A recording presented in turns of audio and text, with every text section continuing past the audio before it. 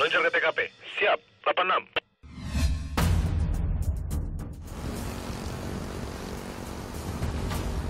Kami dari jajaran Satuan Lalu Lintas Polres Kota Cirebon ini melaksanakan operasi Lodaya 2017 yang dilaksanakan serempak di seluruh Indonesia, yaitu kami melakukan upaya penegakan hukum berupa tilang. Seperti kita ketahui bersama, operasi Zebra Lodaya 2017 ini 80% adalah berupa penegakan hukum berupa tilang dan 20% adalah berupa edukatif dan preventif.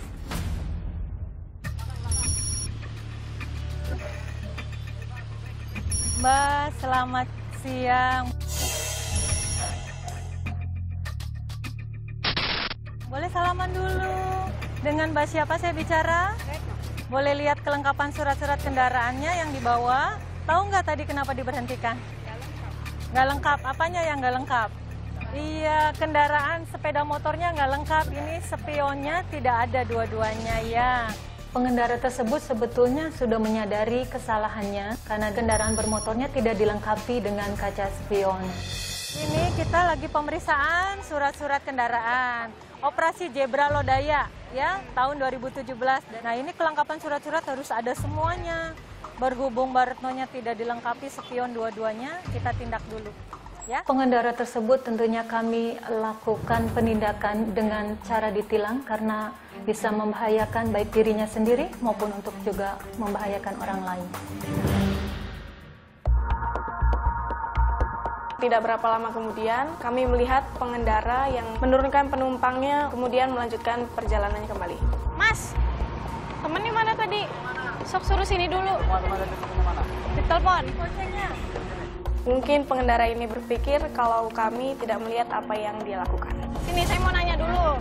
Masih udah pakai helm ya? Tadi temennya yang belakang pakai helm nggak? Mau ke mana nih tujuannya nih?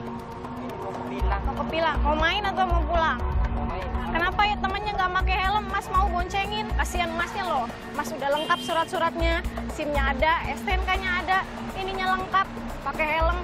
Kesalahannya cuma satu, penumpangnya nggak pakai helm. Sangat disayangkan akan kejadian ini, padahal si pengendara tersebut surat-suratnya lengkap. Nah, sini deh. Kenapa tadi turun? Saya mau tahu alasan. ini suruh turun, deh. Mas kesalahannya apa tadi? Nggak pakai helm. Kenapa nggak pakai helm? Nggak punya. Masa nggak punya? Jadi biasanya taruhnya di bawah sih satunya. suruh ini. Suruh. Emang mau ke mana ini? Mau main? Mau ke.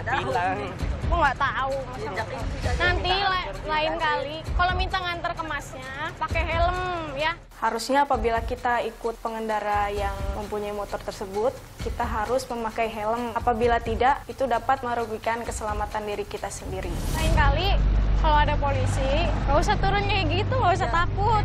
Ya, Tahu ini kata ini suruh turun. Wah, udah nggak usah takut, nggak apa-apa. Jadi ini mau diulangi lagi nggak nih kayak begini? Sini, Janji ya? Serius? Ya nih, itu sih, Tangan di sini. Nggak apa-apa, nggak apa-apa. Kan di masih salah gitu.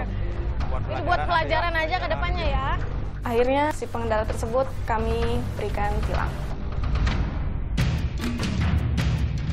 Tidak berapa lama ada pengendara lain yang diberhentikan oleh rekan kami. Selamat sore Ibu. ini lagi sama Iya, bawa nggak STNK-nya? Saya nggak bawa STNK soalnya. Coba dimatikan dulu mesinnya. Dari arah mana mau ke mana? Mau ke player apa? Mau ke pleret dari sama Dikun. Hmm? Ke ini apa namanya tuh? Pilang. Iya tilang. Ibu tahu nggak kesalahannya apa?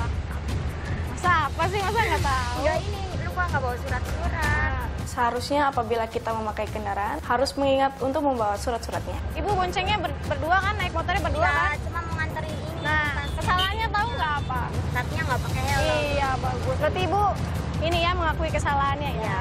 Ini ibunya Mbak ya? Bukan. Siapa? Tetangga. Barangan saya dipinjam motornya orang tua. Iya, pokoknya kalau di jalan harus pakai helm. Oh, iya. Ini juga Mbak nggak ada ininya loh. Ininya tadinya co- copot, Mbak. Bahaya loh Mbak ya. Nanti kalau bisa diganti helmnya Iya, ya yang ada. ada ininya ya, kelikannya ya. Niatan si ibu ini memang baik, tapi apabila mereka mengalami kecelakaan, tentu saja ini akan menambah kesedihan untuk keluarga mereka. Jadi kami mohon untuk selalu tertib dalam berkendara, terutama untuk penumpangnya Mbak ya. Diingetin lagi Kalau sekiranya ibunya lupa nggak pakai helm atau nggak punya helm, mendingan nggak usah ibu ya. Kasihan nanti mbaknya juga kalau ada apa-apa di jalan, mbaknya juga yang tanggung jawab. Iya. Ya nggak? Setelah memberikan penjelasan dan masukan, si pengendara tersebut kami berikan sanksi berupa tilang. Lalu temannya yang pengendara tersebut kami persilakan untuk menggunakan angkutan umum. Ingat ya bu ya, Ya. lain kali dipakai helmnya kalau mau ke mana-mana. Iya, makasih. Ah, ah, sok bu, hati-hati. Hati-hati ya bu ya.